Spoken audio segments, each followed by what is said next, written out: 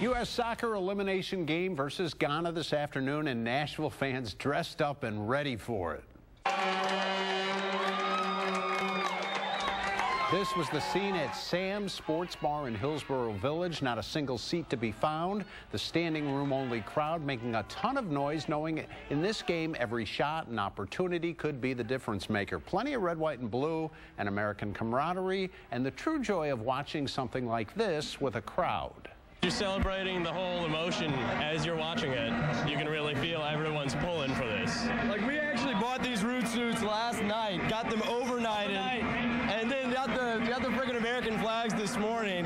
It's just about finding an excuse to celebrate. showing spirit. America's soccer has really been picking up lately. As you can tell, like they're actually broadcasting all the games. We made out a group play. We tied England. I mean, like we're really picking up. We really have to support that. I feel it's important. It's as much of the fans as it is the players.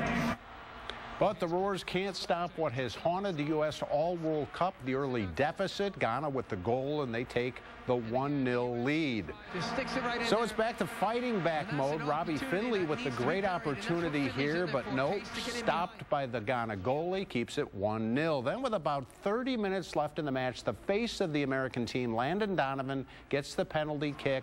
He scores off that inside post. Perfect, and it's one to one. We go to 30 minutes of extra time, and Ghana strikes quickly again. The U.S. can't respond, and it's over. Ghana wins it two to one.